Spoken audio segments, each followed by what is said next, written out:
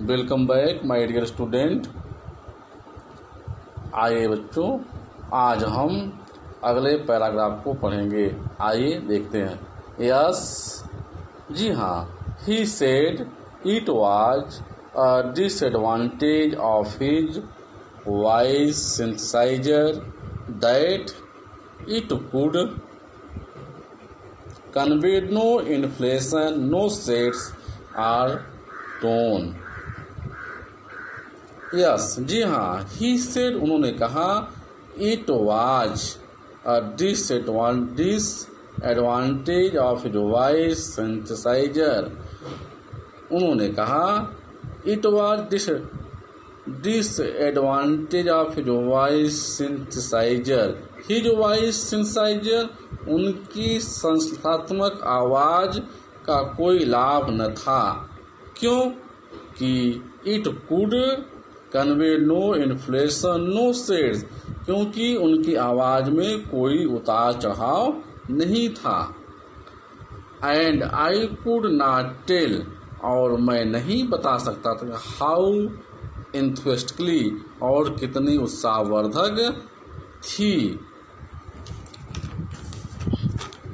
He agreed with me और कितना मुझसे सहमत थे।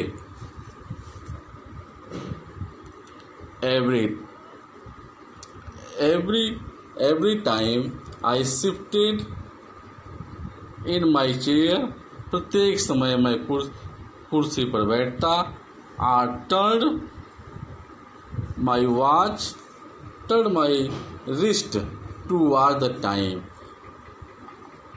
और टर्न माई रिस्ट और अपनी कलाई को घुमाता टू वॉच द टाइम समय देखने के लिए। आई वांटेड मैं चाहता था टू मेक एवरी वन प्रत्येक लोग of our thirty minute count हमारे तीस मिनट के समय की गणना करें। आई फेल्ट ह्यूज मुझे बड़ा आराम मिला। रिलीफ माने आराम and and exhilaration in the possibilities of my body possibility of my body? मेरे शरीर की संभावना के अनुसार मुझे थोड़ा सा उत्साह मिला। How how little it matter ये कितनी छोटी बात थी। Then that I could never walk कि मैं कभी चल नहीं सकता आर इवन स्टैंड और कभी खड़ा नहीं हो सकता। I could I told him how he had been an inspiration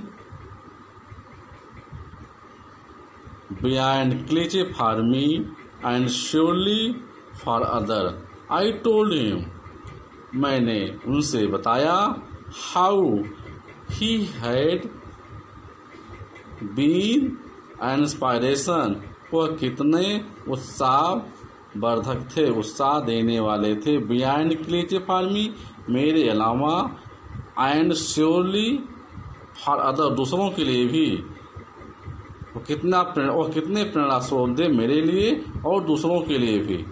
I I did that thought help him जिससे कि उन उनके थॉट हिम हेल्प उनके विचारों से उनको सहायता मिली। नो नहीं।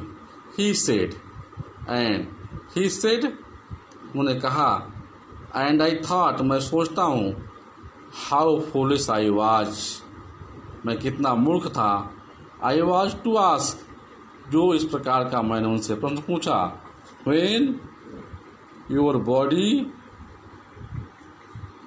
when your body is claustrophobic, जब उनका शरीर क्लस्टरफोबिक रूम बनता जा रहा था and the walls are growing narrower day by day और जो दीवारें हैं, उसकी दिन पर दिन छोटी सकरी होती जा रही थी, सकरी होती जा रही जा रही थी।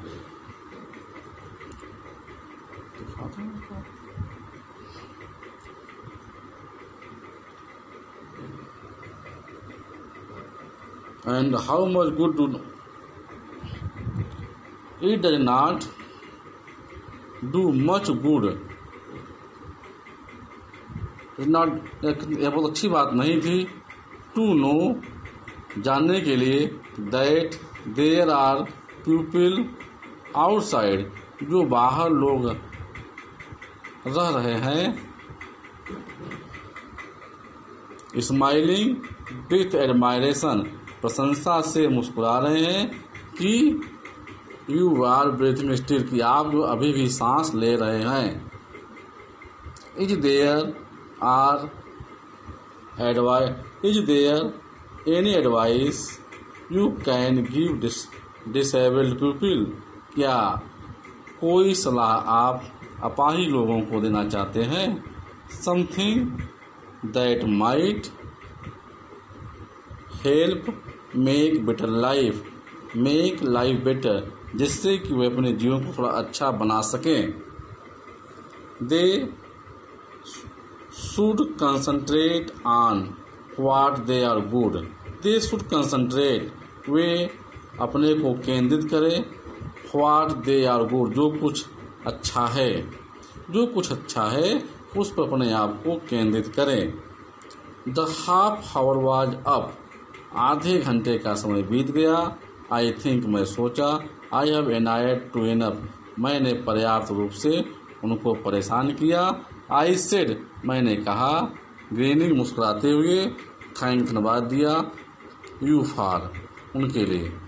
आई टच हिज सोल्जर मैंने उनके कंधे को छुआ, कंधों को छुआ and wheeled out into the summer evening और शाम के समय मैं बाहर निकल पड़ा, यानी उनके कमरे से बाहर चल पड़ा। यह कहानी फिर दोस्त कांगा ने लिखी, कहा, लिखी हुई है, जो कि फ्रॉम हेवन ऑन वर्ड से ली गई है।